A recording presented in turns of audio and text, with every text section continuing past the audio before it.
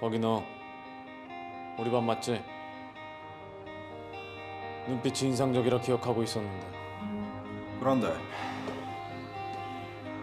광찬이다 나는 태용이다.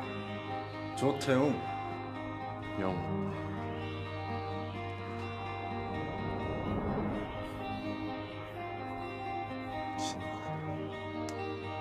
자라! 마 강차! 야, 이 멀뚱이서 뭐하노? 내 방금 골 넣는 거 봤나?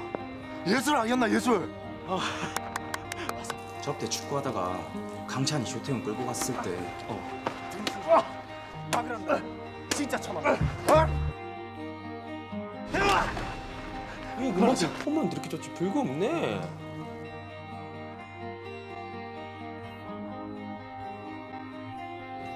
우리도 강차로 갈아타. 한이가 낫긴 낫지. 좋아하는 공부하면서 조용히 살아주라. 내가 왜 그래야 되는데? 야 보면 모르겠냐? 나 난생 처음 친구도 생겼고 이 신부는 빵 신부는 그런 것도 안 해. 그러니까. 닥치고 있으라는 거 아니야? 내가 다시는 그렇게 살고 싶지가 않아.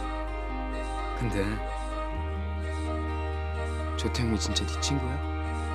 왜 친구 얘기를 하면서 이렇게 벌벌 떠냐 어이. 전학생. 할 말 있으면 네가 와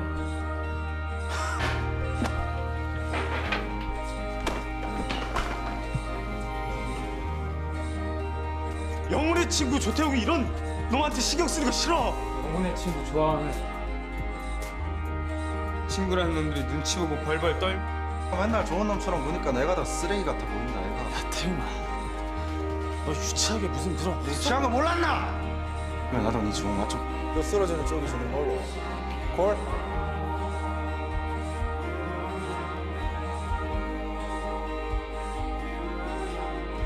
미안하다.